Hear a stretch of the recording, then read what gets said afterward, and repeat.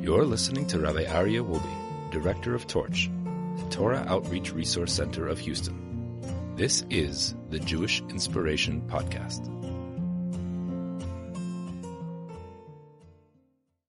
Thank you so much. Good evening, everybody. It's so wonderful to see everyone. I want to thank everyone who's here in person at the Torch Center, and I want to thank all of you who are online here with us. Uh, thank you for all of the comments, all of the questions.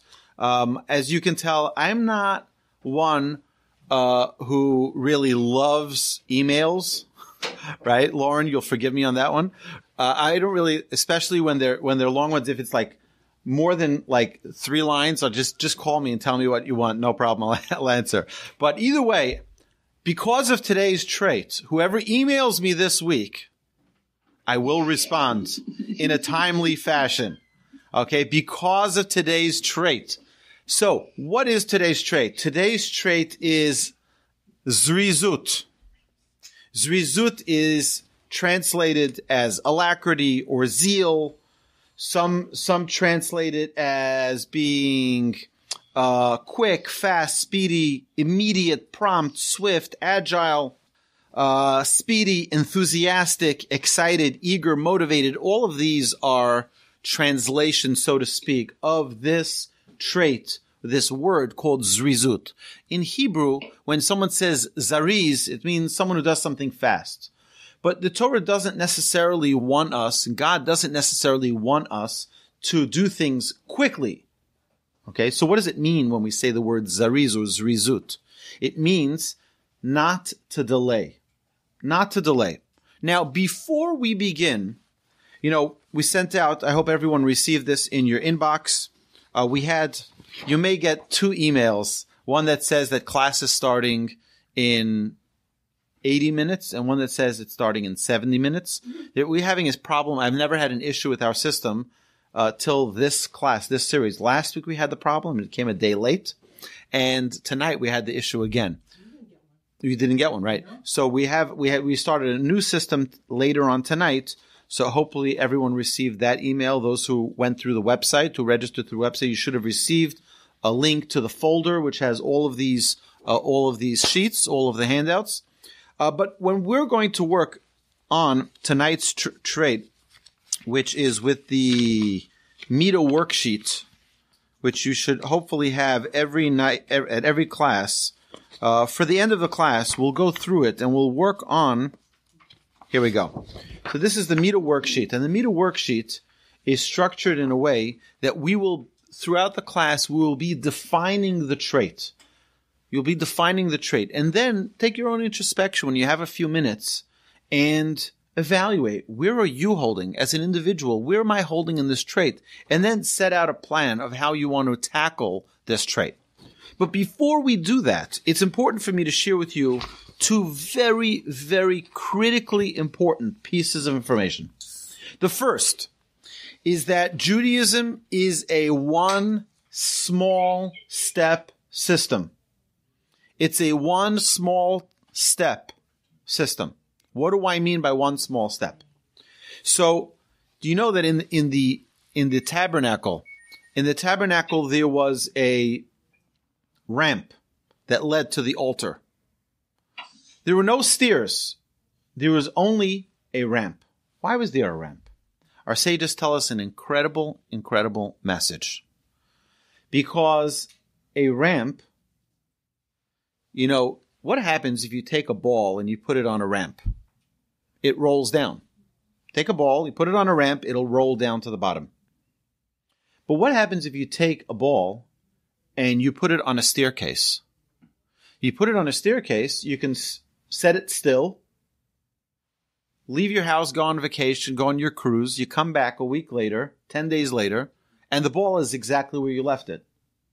You can stagnate on a staircase. You cannot stagnate on a ramp. And the first message that we learned from the tabernacle is that there's no stagnation in Judaism. It's like a ramp. We have to always be taking a step. But there's a much greater message that we can learn from the ramp. And that is a staircase is pre-engineered. You have an engineer who designs the staircase at about six and a half inches each step one from the next one. It's about six and a half inches. And that's the way it is. Now, let me ask you a question. That's discriminatory, very discriminatory. Because if you, my little daughter, when she was taking her first steps, she couldn't pick up her leg that high. And she couldn't get to the second step and to the third step. I had to lift her up. You take a, someone who's elderly and difficult for, it's difficult for them to walk, right? You try to lift, lift their legs up. It's, it's a difficult step. But, but that's, it's pre-engineered. In Judaism, we don't believe in pre-engineered growth. Every person needs to take their own size step. That's why the symbol that we see in the temple, in the temple, in the tabernacle, was a ramp. To tell every Jew, this is the key to your growth. You need to take your own small step. You need one small step for mankind, right? Mm-hmm. one, one small step for man. One huge leap for mankind, right? But the idea is that we need to take a small step because as human beings, if we want to grow, the only way for that growth to be impactful, for that growth to be consistent, it needs to be small steps. I recommend there's a fantastic book and I don't get any, any, um, kickbacks for this. Okay. This is a book called Atomic Habits. It's about small steps. And I, I think this is a perfect Mussar study book. It's not written, I don't James Clear is the author. I don't even think he's a Jew, but it's a, it's a Torah value through and through. It's about taking microcosmic, micro steps that are so small and insignificant. That's what makes the change. Small, steady steps. The second message I want to tell you is as follows. My grandfather, uh, during the Yom Kippur War, uh, was asked to fly to Egypt to give words of inspiration to the commanders, to the officers, to the soldiers who were out in the battlefield. And they put him on a military aircraft and they flew him to Egypt. And uh, during the flight, my grandfather looks out the window and he sees that the plane is flying so low. And he asked, Is there any issues with the engines? Why are we flying so low? So they said, no, no, no, no. You have to understand that they still have radars. The Egyptians still have radars that detect aircrafts, aircraft flying. And if they detect an aircraft, they'll shoot us down. Their rockets will, will shoot us down. So we're flying below the radar. So my grandfather said, this is a metaphor for life, for Jewish spirituality and growth. And that is the Yetzer Hara, the evil inclination, is always there like the radar to shoot us down. But he doesn't look to shoot down the little guy. He looks to shoot down who's the big shot. You know, it's like the police officers. They're not looking for the guy who's driving two miles over the speed limit. They're looking for the guy who's driving 30 miles over the speed limit. Right? Who's flying high? For example, I'll give you an, okay. Anyone ever go to a lecture talking about, let's say, one of these Mussar classes, talking about getting things done, not procrastinating, you know, not delaying. And that's it. You leave class and you're like determined. You pull out your worksheets and you're like, okay, that's it. I'm never going to delay. When something comes up, I'm going to, right? And what happens? We crash and burn. God forbid, right? It's, it's a disaster because the Yetzer Hara says, oh, let me see who the big shot is. Let me see who the person who's going to say, oh, I'm never going to talk slander about anybody ever again right? I'm always going to remember to, you know, when we take such grand steps, it's an easy target for the Yetzer Hara to shoot us down. We take small, small, small steps. We stay below the radar. We fly below the radar. We're patient. One small step and another small step and another small step. That is the key to growth. Okay. This is such a fundamental principle in Judaism. We need to take small steps for our growth because then it's, oh, said, what's the question I get every time I, I, I mention this story? I mentioned the story about the, about my grandfather's flight to Egypt. So everyone asks the same question. Well, okay, Rabbi. So if you take one thing on yourself and then another thing on yourself and another thing on yourself and another thing, even though they're very small, eventually you'll be above the radar. That's a great question. So the answer is like this. We don't just take things upon ourselves. They become part of who we are. So if, for example, we try to incorporate a certain habit into our lives, what happens is that now that habit, after time, becomes who we are. It's not like we added something. So what you're doing is, is essentially raising up the ground level. Keep on raising up the ground level. Understand? So it's not like, oh, we're going to get above the radar, but rather what you're doing is you're elevating from from the ground up. We're elevating ourselves and everything else around us is elevating itself as well. It's get, it's get, getting raised higher and higher. So this is something which is really, really important for us to understand that when we work on a trait, don't try to jump too high too quickly. Take a small, something small, something atomic. And that change will be the change that will, will transform your life forever. It's so, I'm telling you, it's, it's, I'll give you another example a diet. Anybody here ever try a diet? I did many times, right? And we try to say, oh, okay, no more this, no more that. We try to, you know, it's like, and how many times does that work? Very rarely. But if we take one small adjustment, one small thing, I'm going to take one beverage out of my diet. I'm going to take one food out of my diet, something small that can make the difference over the long term you know, it's like they say if you take an airplane leaving uh, JFK Airport that's heading to Los Angeles, and all you do is change it three degrees. Three. You know what three degrees is? It's like from here to like that. It's like you can hardly. It's it. It's almost not recognizable the difference. You know where you'll end up? You'll end up in Mexico. Just three degrees. That's it over time, it's a huge impact when we're able to change one small little step. So I just want to give that as a disclaimer. We're going to start. We're going to talk about this trait of springing into action, not procrastinating, getting things done, which is a very fundamental introductory trait in Mussar study. You have to remember, don't take too big of a leap because that could, that could really bring us to despair where we say like, I tried, I was inspired, I got, I got, I wanted to get things done and then everything fell apart. Okay. So we are all forewarned. We're all, okay, we got this, right? Small steps, small steps, small steps, and just don't beat yourself up in a week and say, I can't believe it. Nothing changed. That's normal. Okay. It's small microscopic changes that really transform who we are. Nobody wrote a book in a day you write a line and then you add another line and then you add another line. Before you know it, you have a book, right? But it takes time. It it's a, it's a very, we're all creatures of habit. We're all creatures of habit, but we take habits many times that are comfortable for us. But when we need to make a change, it's not so comfortable. It's not the way, but, but we have to figure out small ways. And there's a lot of great secrets to it, which we will be sharing, hopefully, throughout this, this whole series. Okay. So zrizut, we were talking about the trait of alacrity. Okay. And this is the first one on the sheet. I decided that we're going to do the positive traits in the, in the 10 weeks that we're together in this seminar. Hopefully we'll be able to tackle 10 of the, or maybe nine remaining weeks. We'll, we'll deal with the first nine of the positive traits on the who am I sheet and we'll go in order all right, so we'll start. The first one is alacrity, and hopefully next week we'll do appreciation, and then we'll do caring, and so on and so forth. Okay.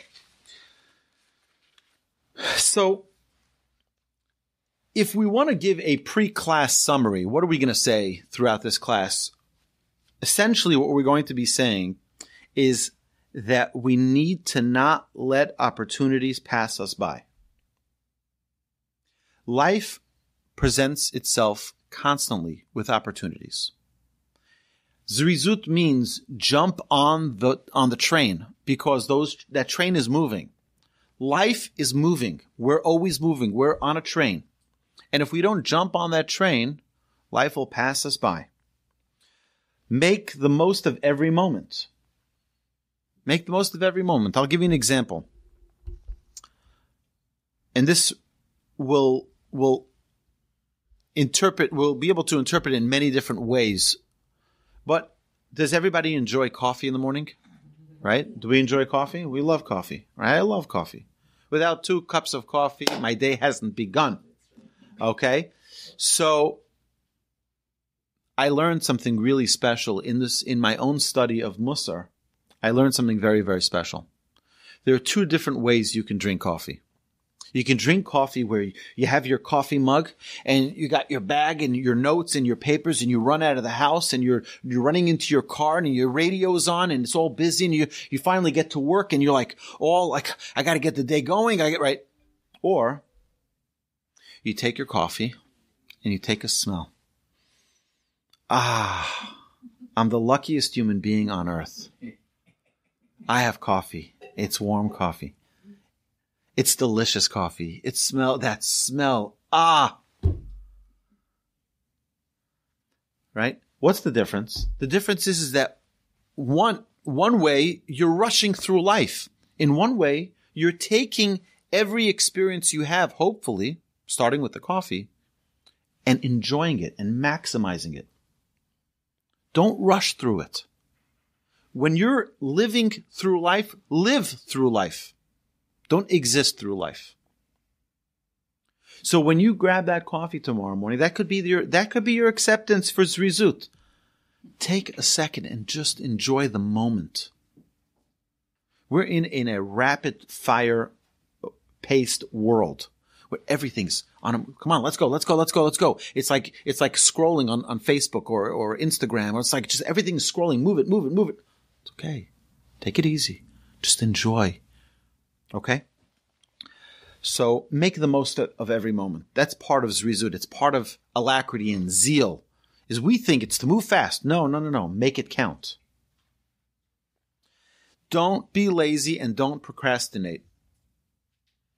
Don't be lazy and don't procrastinate. Okay? We'll see what this means and let's get into it. Okay. So really zeal or, or uh, alacrity is the introduction to all traits because if a person is stuck with laziness, then they can't work on anything. So we'll never be able to work on any trait if we don't have this one mastered somewhat, at least getting into, you know, right now we're going to touch a flavor of it. I've dedicated uh, in in different locations of we've taught this class as a four or five week series. Just this trait. Just this trait because there's so much to talk about to really uh, internalize and make this something which is and and by the way just because i spoke about in other classes doesn't mean that i don't waste time and i don't procrastinate and i'm not lazy right? I guarantee you it's something that we constantly need to remind ourselves of we uh, uh of. We need to co- constantly renew and refresh ourselves with this. Okay. It adds quality to our actions. So while you have that same coffee, it's a different coffee now.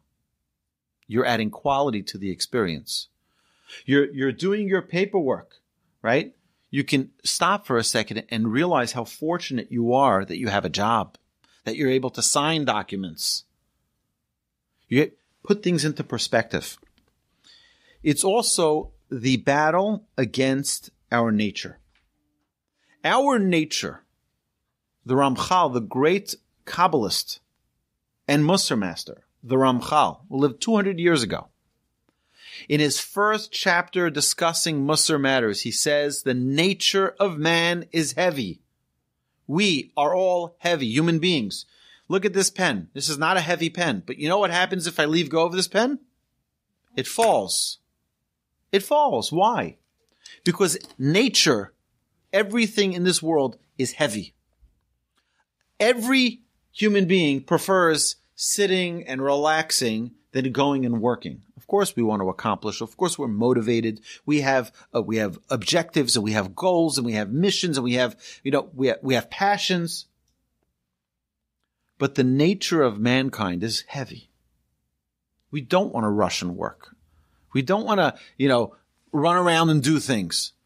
You know, I know many people who prefer just sitting and watching football. And I want to, right? Congratulate you, Ed, right?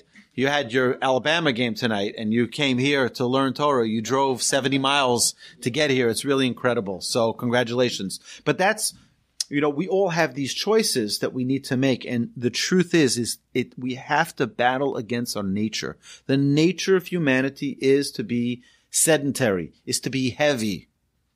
And the minute we recognize this, it makes life a lot easier. The minute we realize, you know what?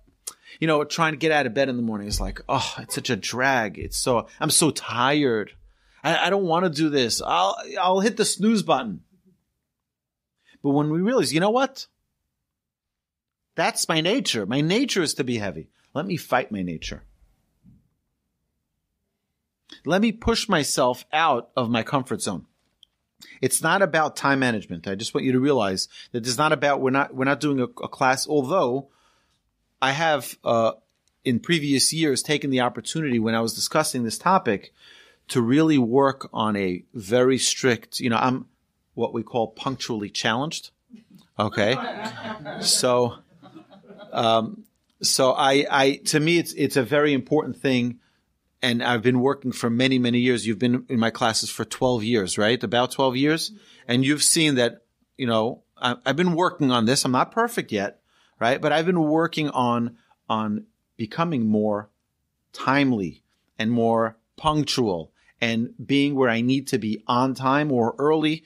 It's to me, it's a total shift in everything in my life because I'm a, I love last minute. I love you know getting it done in crunch time. It's like that's my that's my sweet spot. My wife goes crazy about that. She's like she she like if it's like an hour before you know before some before any deadline like that's that's that's I live there. Okay, I live there, right? And my wife, my wife is like, she can't she can't stand that I you know the like that's that's when I kick it into high gear. It's just like we had two weeks to deal with this. Now you have to do it, right? It's like now, right? Well, but you on time when you're ten minutes late. right. Thank you, thank you. So, so the yeah over here uh, the the people in person class know that it's called Wolbe time, and but uh, we try we try to um, it's life is about working on ourselves. It's a workshop. We say this about marriage. It's a work, workshop in character development, but life is a workshop in perfecting our character. That's really what it is. Nobody is perfect. We, just, we talked about that last week. Everyone has to find where their weak link is and try to fix it. By the way, even in our positive traits, we have some traits that we'll be much stronger at and some traits that we're a little bit weaker and we need to pay attention to it. It's just like, you know, you ever, anyone ever take their car, you take your car in for a tune up and they say, you know, you got to fix your oil needs to be changed or your, your air filter needs to be, or your tire is, is missing some pressure, right? It, you, you need to tune it up. As human beings, Mussar is our tune up. We have to tune up all the, because it's not going to fix itself. Your car is not going to fix itself. You got to take it to the dealership or take it to where your mechanic, right? And get it tuned, tuned up. This is our own spiritual tune up where we check, you know, check the air pressure and check the, check the tires and check the, uh, the filters and check the, the, all of the fluids. This is what we need to do. And this is, this is, uh, our work. So it's not, it's not about time management or to do things quickly, rather setting our priorities and becoming doers. This trait is about becoming doers. Our, our sages actually, I had, I wrote down here, our sages say that, um, you know, it's actually, there's a very good, a very good, uh, marketing, uh, slogan by Nike. It's called just do it. Just do it. It's such a motivating three words. Just do it. Right? Get, become a doer. But our sages, I had it over here. Oh, listen to this. Amazing. It says, Cain minhag bnei adam. This is the custom among people that when they see a zealous person, meaning they see someone who gets things done, they say, this is someone who is all life. He's living. He's, he's doing things. He's getting things done. When they see someone who is zariz, meaning he doesn't let opportunities pass him by. That's the type of people we want to become. People, when, when people look at us like, you know, they say, if you want something done, if you need help getting something done, ask a busy person. The busy people get things done. Yeah. Right? What does that mean? That means that there are people who always, there are people you'll ask them, like, they never get anything done. I want to share with you an amazing story. An amazing story. There was a, um, there was an innkeeper. There was an innkeeper who was a very righteous Jew. He was a righteous Jew. But he didn't own his inn. He rented it from one of the governors. The governor was the landowner, and he rented it from him and he sublet it to the people who came to his inn. So one day, um, he realized that the governor is going to rent this property, take it away from the Jew, and give it to someone else that he was closer with. He had a better relationship with. See, he met a wealthy Jew, and he says this to this wealthy Jew. He says, I know that you do a tremendous amount of charity. You do a tremendous amount of business, and that you know this governor. You know him very well. Can you speak to the governor on my behalf and persuade him to give me the new the new lease on this property? That he shouldn't give it away to someone else. So this wealthy Jew says, I'll talk to him. No problem. I'll do that. I'll do you that favor. But I have to travel this week. I'll talk to him when I get back. I have to travel. There was a big show that they used to have in Germany, in Leipzig. There was a big show, a big, uh, you know, they would have a big market and people from all over would come. He says, I can't, my business is shut if I don't go there. I need to go there first. I'm going to be there for a week. And when I get back, I will take care of, I'll speak to the, to the governor. So he goes, he travels to this, to this expo. And meanwhile, this poor Jewish guy comes home and he tells his wife, I spoke to the wealthy man. And the wealthy man is, uh, said he's first going to the expo in, in Leipzig. And then when he comes back, he'll speak to them. He's they're so worried. He, he, you know, we, are going to lose the opportunity. We're going to lose the opportunity. What's going to happen? And the wife starts stressing out and she's, she's becoming very anxious and she starts yelling at her husband. I told you this is what's going to happen. And like they started getting into this whole fight, into this whole thing. Finally, a week later, this wealthy man, as he promised, goes to speak to the governor and the governor says, no problem. I'll let this Jewish guy continue the lease and I'm not gonna, I'm not gonna kick him out. Okay. A little while later, this wealthy man passed away. And one night, this innkeeper, this Jewish man, who the wealthy man did this favor for, has a dream. And in this dream, this wealthy man tells him, I came up to heaven and they judged me that I was a good man and I deserve to go to heaven. And they escorted me to the gates of heaven, and they said, You were a good man, but you made that poor Jew, the innkeeper, wait a week. You made him wait a week. Do you know how much pain that caused him? Do you know what a fight that caused between him and his wife? And for that reason, we can't let you in to the Garden of Eden, so to speak, into heaven, for the same seven days that you made him wait. See, he asked in a dream, he says, Please, innkeeper, forgive me. He says, Here I'm standing at the gates of heaven and I can't go in. Please forgive me so that I can, I can be allowed in. I thought this was an astonishing, an amazing story of the importance of not delaying things because sometimes, particularly when other people are depending on our actions, it's important to do things quickly and to not procrastinate because what happens when we procrastinate, we say, listen, my time is my time. And, I, and that's understandable. You know, I sometimes, you know, am approached by people in the community and I need to handle matters in the community. I got a phone call last night uh, from a woman in our community who was concerned about a specific issue in the neighborhood.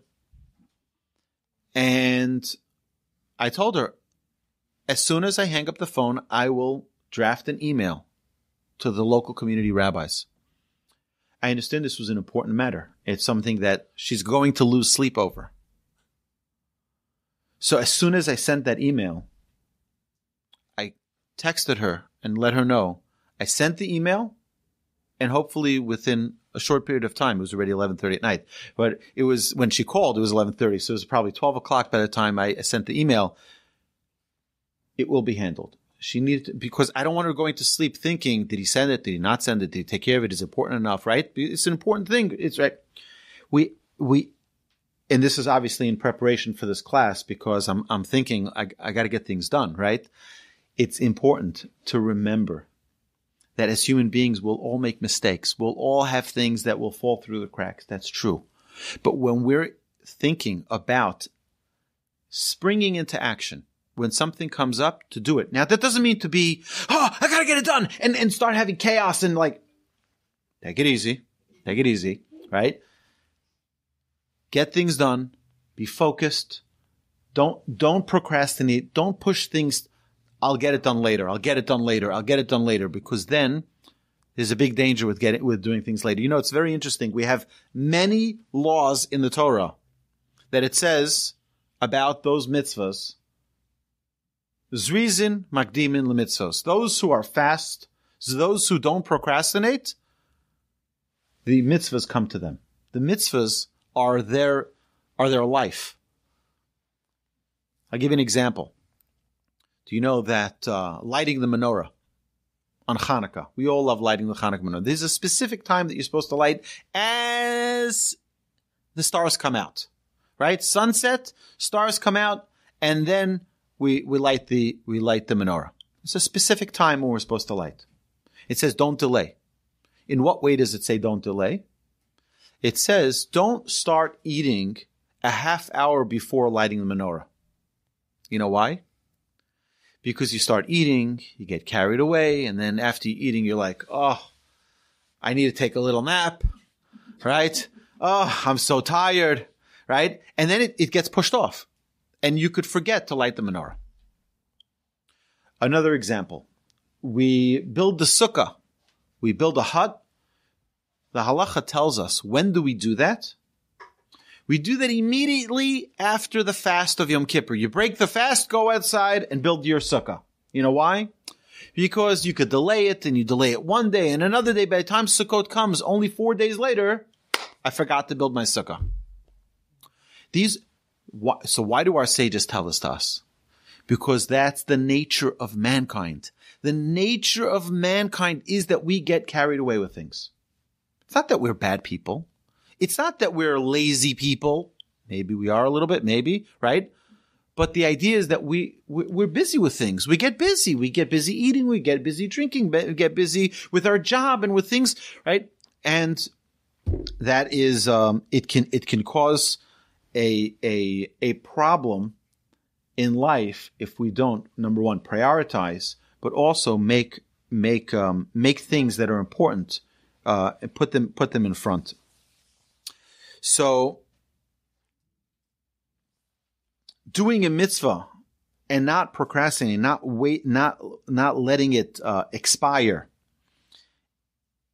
It says is a maaseh, is an action. Shahashchina shora aleha.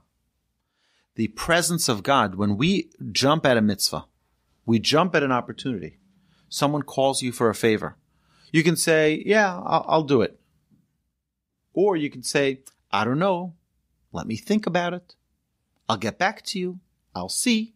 Right? That's, those are all, um, we can say excuses. I don't want to say excuses. I want to be nicer, right? Those are things that sometimes are a tactic to push it off, to procrastinate, to maybe, maybe, maybe, and then perhaps we never get to it.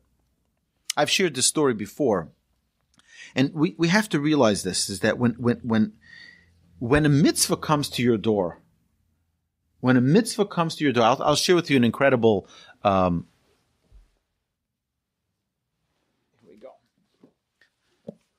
I love teaching from the Torch Center because we have such a massive library behind us. And I want to share with you uh, a beautiful introduction here to one of the one of the, the portions here. It says an amazing thing.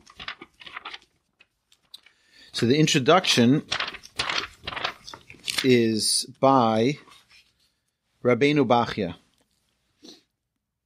He says you have to understand something, okay? When a poor person comes to your doorstep and asks you for charity, listen carefully. It says, give charity to every poor person who asks you. He says, why?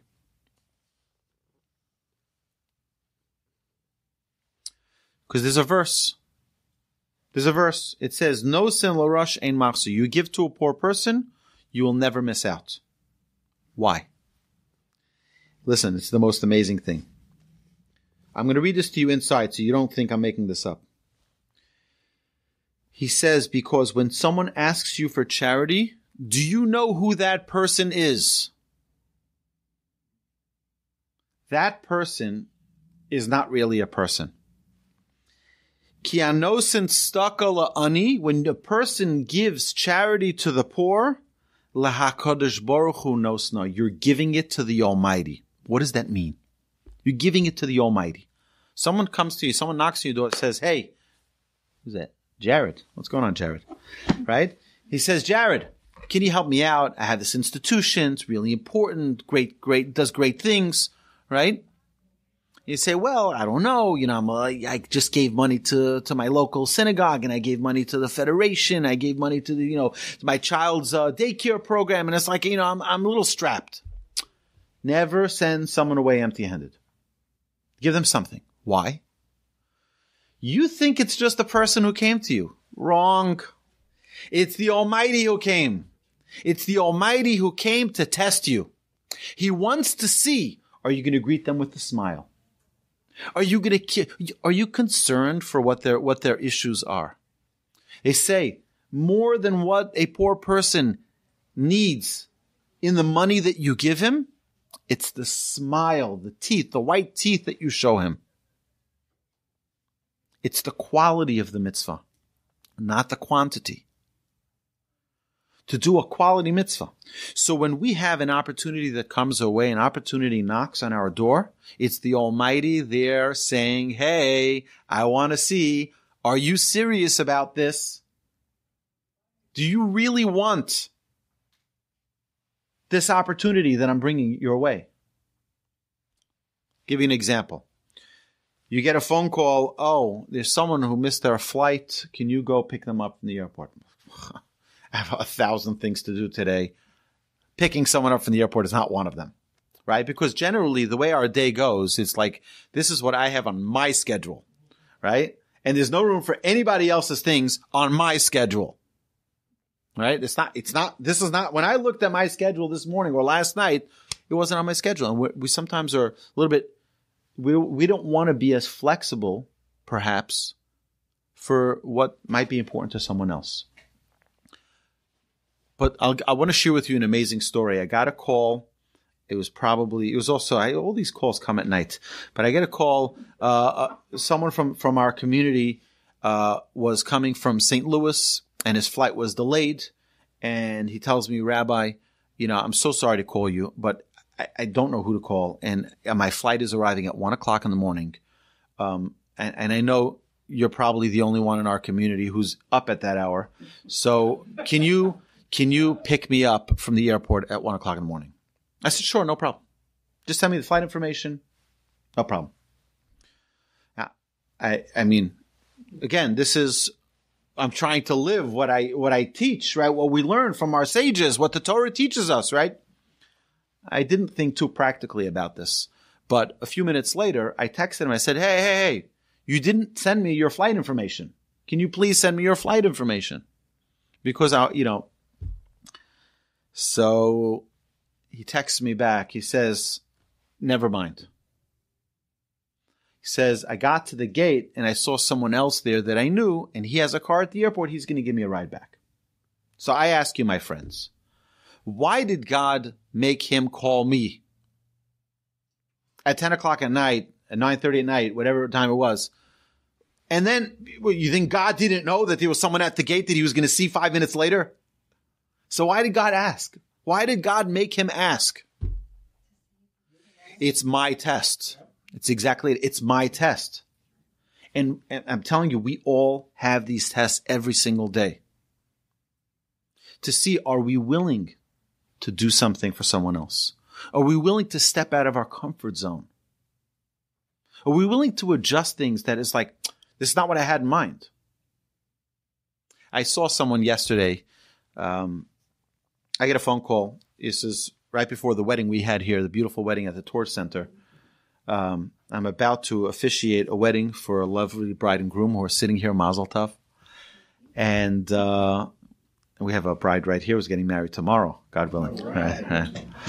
so, uh, so as I'm on the way coming to the Torch Center, I get a phone call from a friend of mine. He says, "Hey, my son was just driving past the Torch Center, and his car broke down. He got a flat tire. Can you help him fix it?"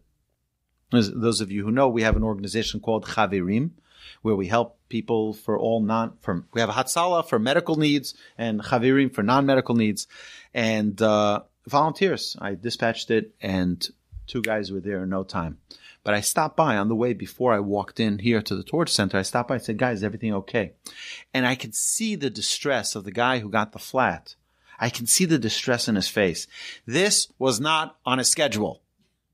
Okay, this was not on a schedule. He said. So I said, I walked over to him. I said, hey, "Let me give you a hug." Let me give you a hug.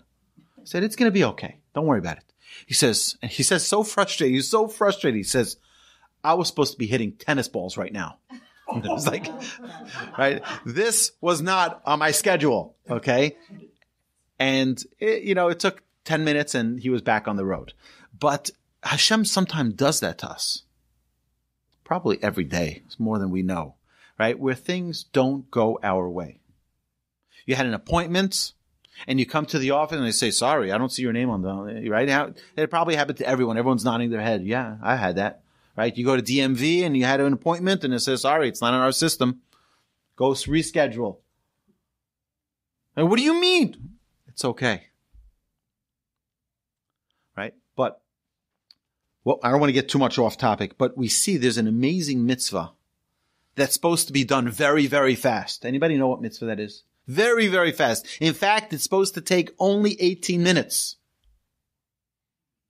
The matzah. The matzah, very good. The matzah, from the beginning, from the first drop of water touching that flour till the matzah leaving that oven is 18 minutes or less. If it's 18 minutes and one second, it's over. You lost the opportunity. It's chametz. It becomes leavened food. Our sages tell us something. The word matzah and the word mitzvah are identical.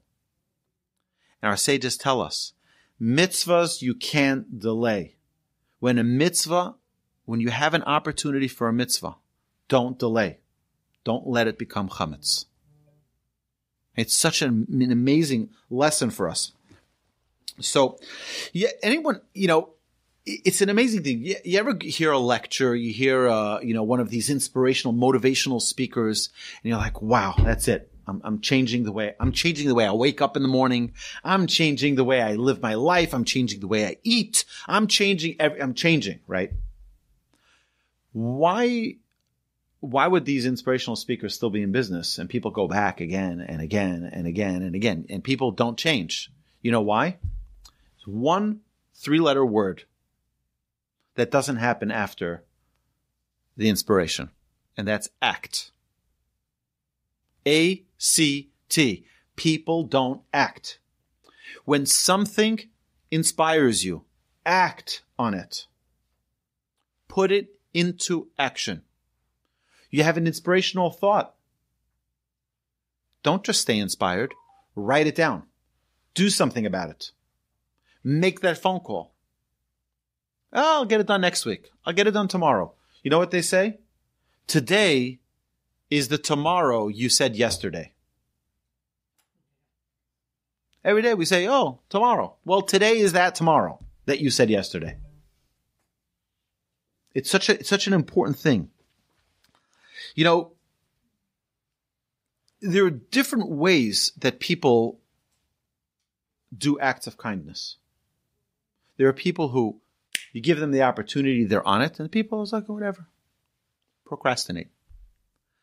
There are different ways that people go to synagogue. There are people in my neighborhood. We're we're a pretty pretty you know a closed in neighborhood. Some people call it the ghetto, right? So like right. So people are walking to shul. People are driving to shul. There are people who are taking their time going to shul, to synagogue, right? It's different ways. They're both going to the same place, but they're people who have they're on a mission. And people are like, my wife told me I have to, so I'll go. You know, right? So it's like, and, and, and the truth is, what type we have to determine for ourselves what in every area of life, what type of person am I going to be? Am I going to be the person who's I got to get things done? You know, the clock is ticking. I, you know, I have. I know this is a little bit of a morbid thought, but uh, think. Uh, hold, stick with me for a second here. I think the greatest gift to give to any child born is a is a counting uh, a counting down clock from 120 years. 120 years. As, as soon as the baby's born, start the clock. 119 years, 11 months, right? 29 days, 23 hours, 59 minutes. Okay? And slowly, it, every second goes down. Goes down. Imagine if we had such a clock. And then you wake up in the morning when you're 20 years old and you see, uh oh, I only have 100 years left. And when you're 40 years old, you say, oh, I only have 80 years left in the best case. Right? I think it would put a different, a different value to life that we realize that we don't have eternity. We have a limited time. And we need to maximize. 90 and see I have 30 what? You're saying that you wake up at 90, you have 30 years left. Yeah, I hear it. I hear it. So the, the, but, but it, it's such a, it's such a perspective that we realize one second, you know, we don't have forever. It's a limited amount of time and we can, we can fill those years, those minutes, those hours, those seconds with quality seconds and quality minutes and quality hours without regrets I can't begin to tell you how many people I've met in their 50s, 60s, 70s, 80s, and you tell me, oh, Rabbi, if I just would have met you 40 years ago, my life would have been different. Well, you didn't meet me 40 years ago. Today, today is a day. Now, I'm not the Messiah, you know what I'm saying? It's like, but today is today. Today, make today count. Make today an amazing day where nothing, nothing passes by you. No opportunity passes by you. That's what zrizut. Zrizut means I don't let it expire. An opportunity comes my way, let's get it done. Let's get it done. And we all have the ability to prioritize what's important, what's not important, what's more important, what's less important. There, you know, you know, there's an, an, amazing principle by one of the great, uh, um, one of the great, I don't remember the book, but uh, I actually remember the name of the book. It's called Getting Things Done. When I came, when I moved to Houston and I became the executive director at Torch now almost 17 years ago. So a friend of mine gave me a, a book. I don't remember the author, but it's called Getting Things Done. And he has the 4D policy. Okay. Everything. You have a, a desk filled with papers. You make four piles. Each one is a D. Okay. Do, defer, delay, and delete. Oh, I have it here. It's David Allen. David Allen, getting things done. Okay. Do, defer, delay, and delete. Right? The same thing with your inbox, your, your mail. How many, how many, how many emails do we have? And say, ah, oh, someday. I told you, anybody who emails me this week, I'm responding right away. Try me. Okay. Give me a chance to prove myself. Right. So, um, it's a, but this week only. no, I'm going to try it. I'm going to try to, I'm going to try to improve. But again, there are things that we need to do right away. Are things that we can, you know what, this, this I can do next week, I can do in two weeks. There are things that I'm just going to push them aside. I'll, I'll, re, I'll, I'll defer, I'll, I'll, I'll delay them a little bit. There's those that I can defer. And then there are others. And I would, I would say delegate is one of the D's also. There's some that you can have someone else do. You don't need to be doing that. Okay. And then there's delete. There are things that it's just, this is not, right? When you get, did you update your auto insurance? Uh, right. Okay. Your, right. Just not auto insurance. I'm talking your auto, uh, what is it called? Um, yeah. Um, I think everyone knows what I'm talking about. Your um, extended warranty, your extended warranty, right? Yeah. So that you can delete. Um, okay. So we see that Reuben, the oldest of the tribes, was scolded by his father for being reckless, for being hasty, for being impetulant. He didn't think things through. That means there's a danger of doing things without thinking. Just do it. Right? And that, that's, that, that's the risk. That's the other side of doing things and not properly thinking through it. And I think it's very important that yes, I'm, I'm on it, but let's, let me just give a second of thought to it. Make sure that I'm doing the right thing. Make sure that I'm heading in the right direction. So,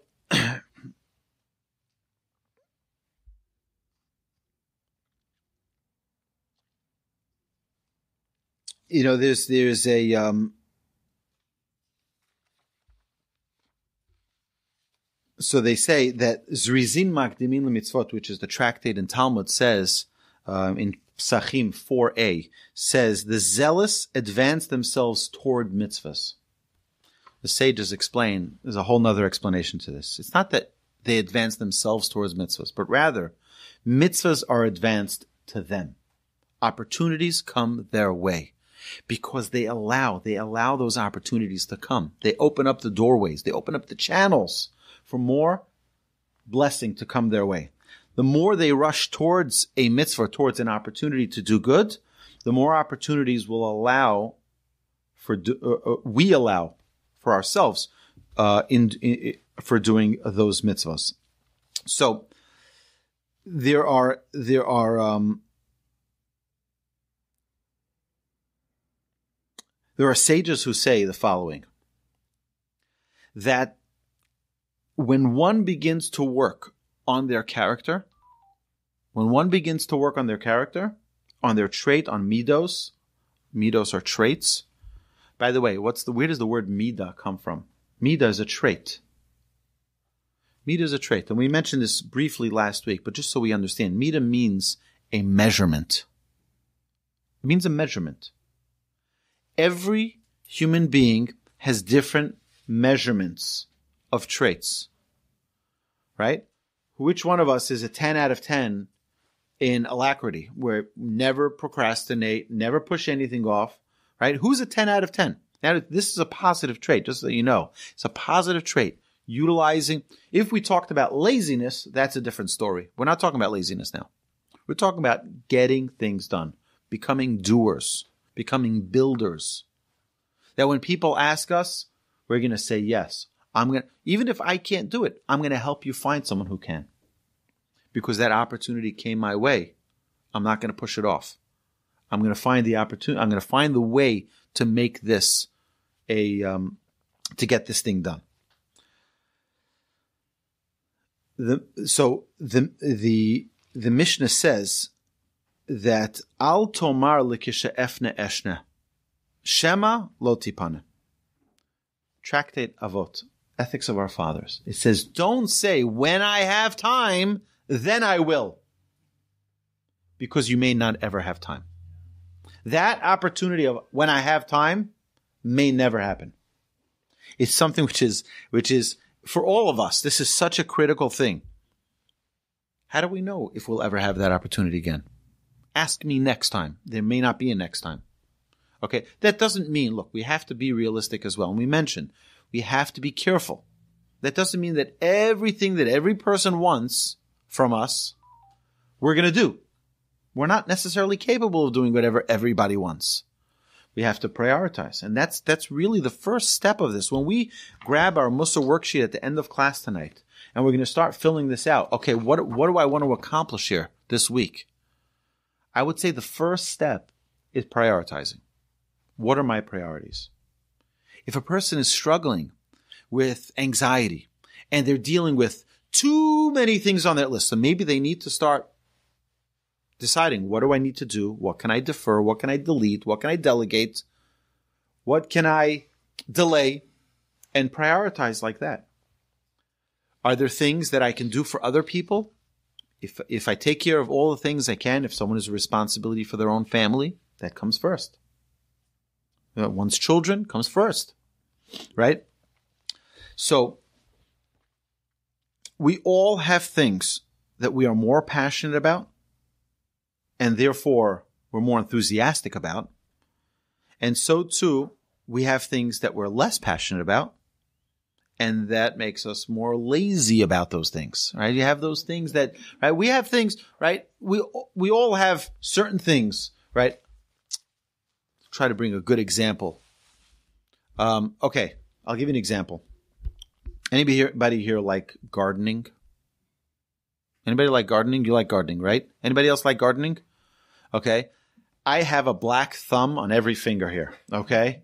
I I I kill plants. I don't know. I just I, I don't know how to, I don't know what I'm doing. I really don't. Right. So if my wife were to tell me, can you take care of the, the garden or take care of the, the, the I was like, that's like a sentence for me. Okay. I'm not motivated. I'm not excited by it. I'm not now there, like you, you'd love that opportunity, right?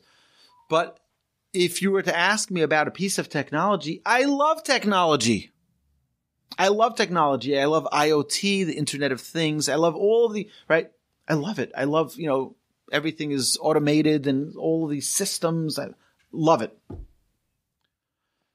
So which one, if you're challenged and you have two things that need to get done, one that you're motivated to do and one that you're not motivated to do, which should you do first? Exactly. The one you're not motivated to do. Because the one you're not motivated to do, if you don't do it first, you'll never do it. Right? We all have parts of our job that are more enjoyable and less enjoyable. Do the less enjoy, well, I, it really depends. It really depends what, because the truth is that motivational uh, speakers will tell you do the one you are excited because that gets the ball ro- rolling. It gets it, it gets it rolling, and then you'll end up doing the thing you're not motivated as well. But I'll I'll give you a different example. My grandfather was a Mussar master. Now in yeshiva you study Mussar study, but you also study Talmud. Now Talmud is deep, um, hypothetical dilemmas which are really discussing, you know, they're both, both of them are speaking, are learning God's way of thinking, God's way of living. So my grandfather was with a dilemma. He had the Mussar study that he needed to write and review, and he had his Talmud study that he needed to write and review. Which should he do first? He only had a certain amount of time. So he decided that he was going to do his Talmud, which was less favored by him. He was going to do his Talmud. You know why?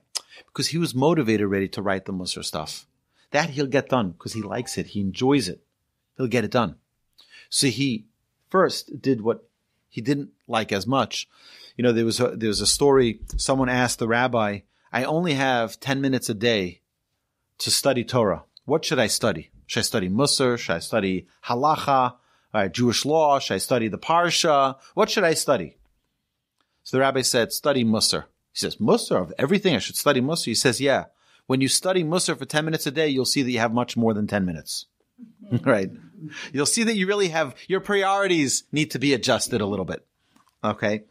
But we see something really amazing. We see that Abraham didn't delay. It said about Abraham four, four, three different times. It says in uh, Genesis 19, it says, Vayashkem Avraham Babok, and, Abraham rose up early in the morning. it says again, Vayashkem Avraham Baboki. He woke up early in the morning. Each one, this one was to, for the binding of Isaac. And this one was when, when he, right? Vayashkem Avraham Baboki, Vayach Moshes Chamoro. Each time, he was, right away, he was on a mission. What do we know about Abraham? He's, he's the founder of monotheism, right? He brought the consciousness of God into this world. Right? He had a lot of work to do. He was on a mission. I don't have time to sleep. It reminds me of my rabbi. My, my rabbi, may live and be well. My rabbi lives in Jerusalem. He was born in, in the Bronx.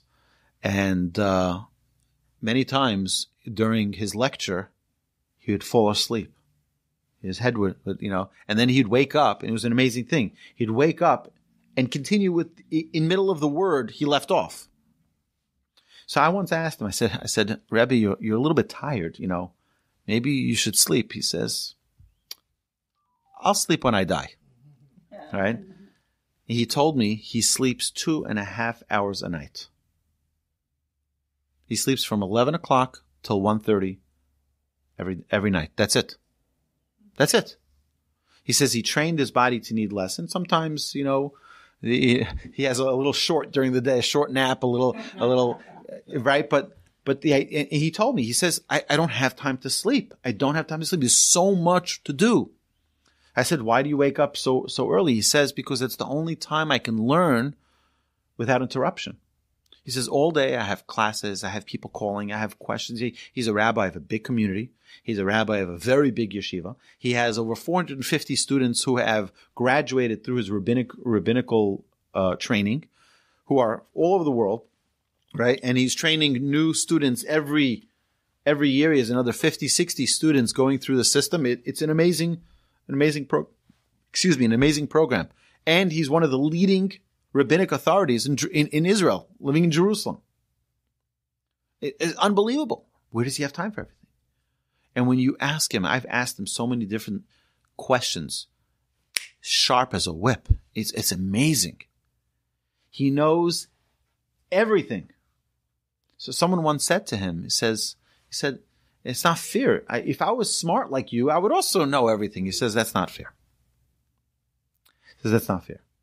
He says, I wake up every morning at 1.30 in the morning and spend five and a half hours reviewing so that I can remember. Because to him, knowledge of Torah is a priority. So he spends his time, right? To him, that's a priority. As soon as the, the, the crack of sun, right? He's praying and then boom, the marathon of the day is on, is on its way. I will tell you something very, very special though. A friend of mine told me that he met him at a florist. He met my rabbi. He saw, not met him, he saw him at a florist on a Friday afternoon. And he was picking out each rose. He was picking out, he wanted a red one and he wanted a pink one. And he was like picking them out, putting together the bouquet for his wife for Shabbos. Right? And it, every single Friday, this, the student said, you can see him at the flower shop and he picks out the you know the exact roses each one because that's also a priority for him. He may be away all day. He wants his wife to know how much he loves her. He wants to know how how how how he wants to express his passion. Right? Now, that there are some people who don't like roses, all right? If you can believe that, right? But but he knows what's important. He has his priorities. So he could say very, he can, he can come home and say, I'm sorry, you know, I'm a busy guy. I don't have time to buy roses. Or he can say, this is a priority. This is something I need to get done. Vayashkem Avraham Baboker. Abraham woke up early in the morning. This this doesn't mean that you can't sleep in. This doesn't mean that if you know if you hit the snooze button that it's all you know it's all for right. No. The idea is that we have prayer. I'll give you another example of a mitzvah we don't wait for the bris. A bris, a baby eight days old. When do we have the bris? In the morning. Why in the morning? Don't delay. Don't delay the mitzvah. We want.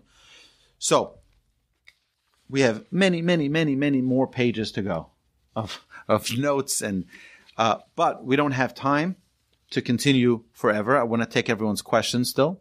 So, my dear friends, let's utilize this coming week. Please take a moment, print out that sheet if you don't have it, your meter worksheet.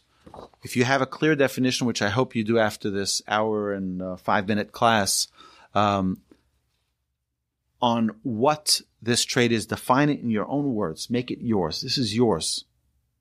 It's not what I said. It's what, what, what you feel.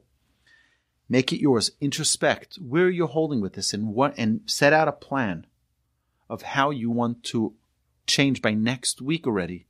You'll feel, hopefully, if each day you journal and you can go on the email that was sent out earlier tonight, you can send out this link and you can print it out. You can download those pages. There's a folder. I shared all the documents in there. Um, journal journal your your journey every day. Mark the notes, mark it down, and hopefully you'll start feeling that transformation in your own life every single day. So, um, if the, if anyone has any questions, you're welcome to welcome to unmute yourselves and to uh, ask anything. But I want to thank everyone for coming here tonight at the Torch Center. Thank you everyone online. And if you have any questions, you're welcome to email me because I will respond. And uh, uh, and if you have any questions, you're welcome to unmute your microphones. Yes. Um, I want to go back to the um, when you give to a poor person, you'll never lose out because you're actually giving to the Almighty. Right. And I know, like in the eruv, we have people that come door to door. Sometimes right. we we always have something for them, but like does it include like every single panhandler in Houston? Yeah. Or it's a it's a very good question. All right. So, uh, what's about the panhandlers? Is that also God? So, I I think so. And what I like to do for that, I don't think it's a good idea to give them money, personally, yeah. because I think it's poor decisions with money that got them there. It's probably not a good idea to give them money to keep them there. Um, so, what I like to do is I like to have like these nut bars or or things that are nutritious in my car, and I'll give them that um, because I want them to be able to eat, and I want I want to provide something for them. I don't want to just pass the, by the opportunity to be giving to someone. So when I see the the panhandlers, I I I do typically roll down my window and say, "Here, you know, why don't you eat a granola bar? Why don't you eat something? Here's something nutritious. I'll give them a bottle of water um, because I want to help them. I want to be I want to be a giver." But on the other hand, we have to be, particularly with people who make bad decisions, we can't be enablers that will, you know, enable them to uh, to to continue to make bad decisions. Okay, that's a good question. Like the people that come around our, our papers. Right, and, and even then, even then, you want to make sure that you prioritize. Right, yeah. we have local institutions, we have our own schools and our own shuls and our own right. So that there's, you know, the Rambam Maimonides has the laws of of priorities. But the idea is always to remember to be the giver, and that we should always be blessed to be the givers on the giving side, and that, that that's that's really what we want to be. Is we want to take that opportunity and take that privilege to be the giver and be godlike in the way we give. Great question. Anyone online? Anybody online? You can unmute and uh, are you able to unmute? you able to unmute. Anybody have any questions? Anna, you always have a great question.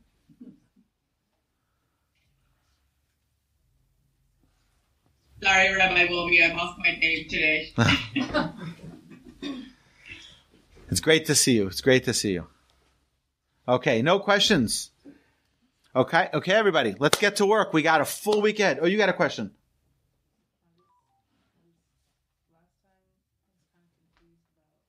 Okay, so here, here, let me. Okay, so you know we'll, we'll get to that. We'll get to that. Thank you, thank you. Okay, we'll we'll, we'll spend time. Rabbi, I have a question. Sure. Who's speaking? Hi, my name is Rebecca. Rebecca Suissa. Hi, Rebecca.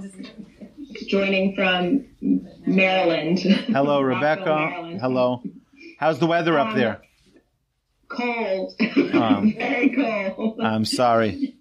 I'm no, so- it's fine. Right. It's the seasonality is nice. Right. I will tell you. I will tell you that we also have like frigid weather. It's like 60 degrees here in Houston, and it's like everyone's pulling out their boots and they're yeah.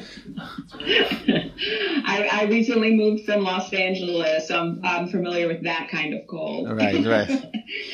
But um, you, we were talking about the the the things that we're motivated to do and what we're not motivated to do, right? Right. So when you're ranking or rating yourself on a scale of one to ten, what do you what are you ra- rating exactly? Do you take like the weighted average of like the things you like to do and you don't like to do? Like, wh- how do you really assess? Because in some areas, like if I want to do it, I'm like, then you're you know, then, mi- minor need for improvement. But if it's something that you don't want to do or something that's not close to you, like even with like chesed, you know, if it's a cause that is very close to your heart, you're so willing to give. You'll you'll do anything for that cause. But if it's a cause that is not so close to your heart, you're like a little less motivated. So how do you really rate yourself? Because isn't it coming from a place of like self-service or selfishness? Like how do you really rate yourself? That's an excellent, excellent question. So I, I, I, I haven't thought of that, but let me give you what I typically do when I have such a challenge. Okay. Is that I think of what is the idea of this trait? This idea is to emulate God. And God is perfect in all his traits. So if in, in trying to think of how I can best emulate God, I, I, I will evaluate in my introspection, where am I with this trait with everything? So take everything that comes our way. Now, that doesn't mean that every cause that comes your way you have to become passionate about. Definitely not.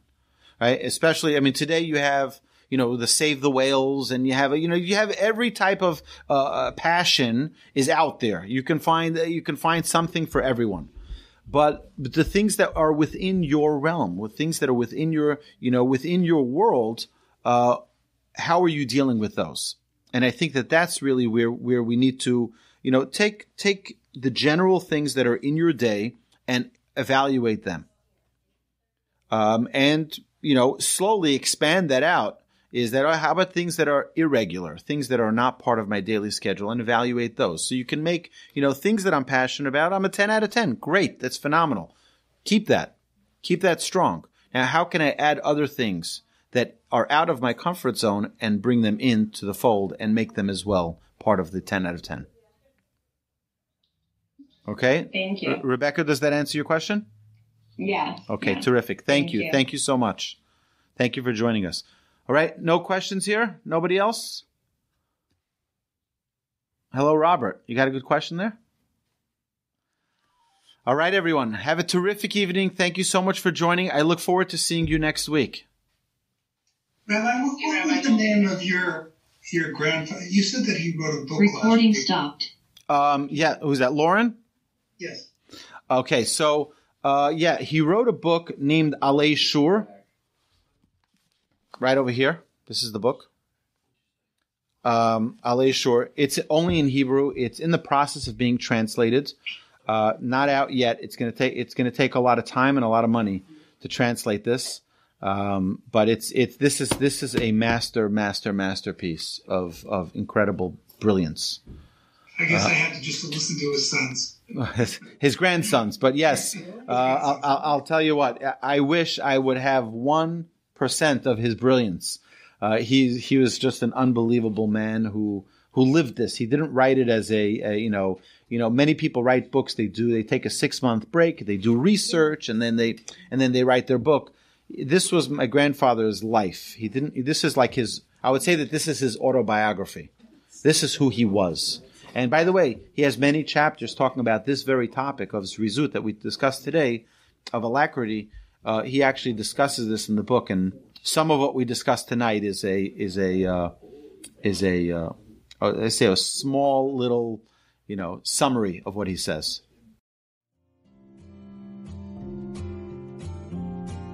You've been listening to the Jewish Inspiration Podcast, a Torch production.